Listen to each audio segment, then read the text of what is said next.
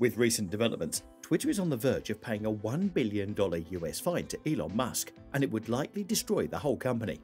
Furthermore, Elon Musk revealed how he is preparing for a trial to crush Twitter.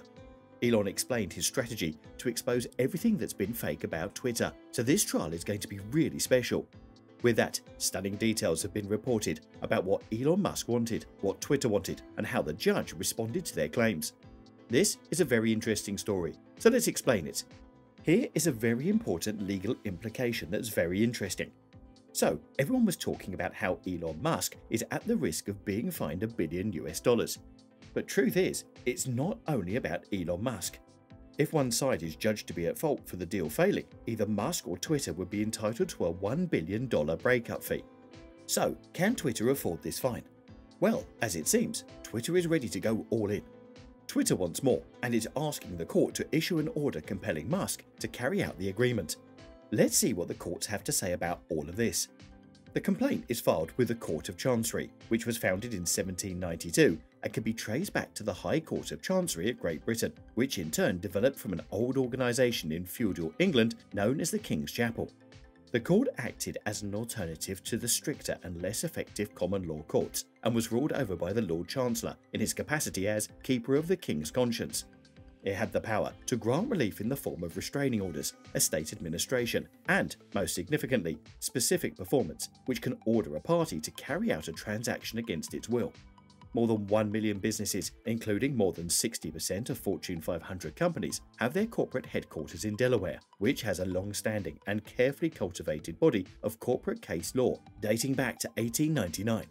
Musk is in excellent hands because these judges have a lot of exposure to this stuff and are very knowledgeable about it.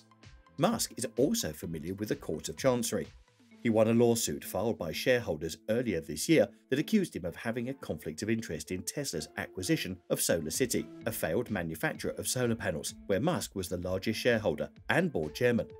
There are several situations where a judge could declare the buyer or seller to be in violation, and most of the time, the common legal penalty is a termination charge.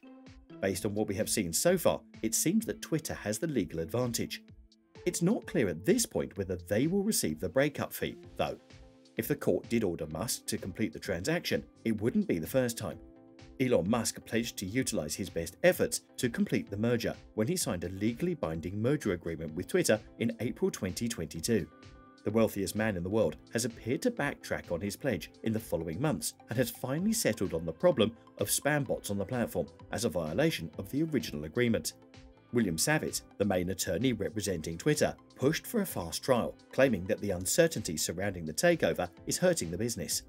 Musk has been and will continue to be legally required to make every attempt to complete this transaction, but Twitter officials claim that he's doing the exact opposite. So they are referring to it as sabotage, which is quite absurd because Musk doesn't really have a reason to sabotage Twitter. If you think he does, let us know in the comments below.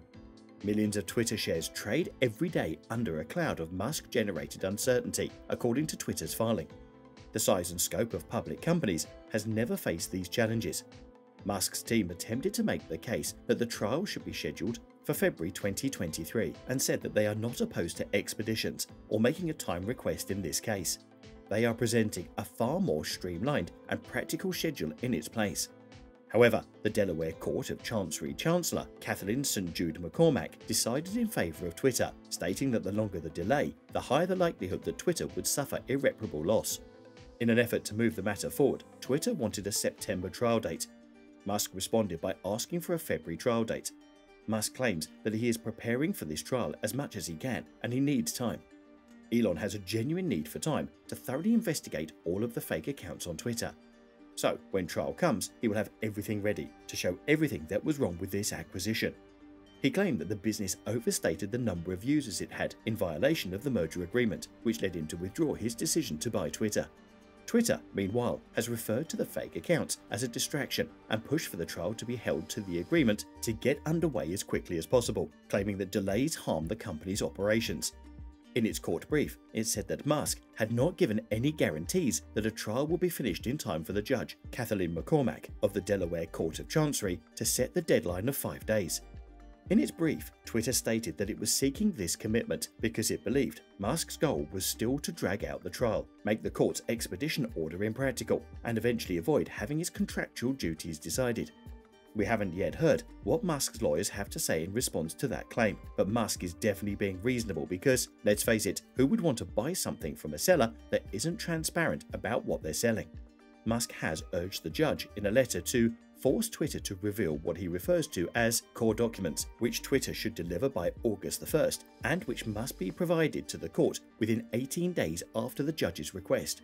Musk said that Twitter had withheld all of the things in the data room, as well as manuals, regulations, and calculations pertaining to active daily user computations and artificial intelligence.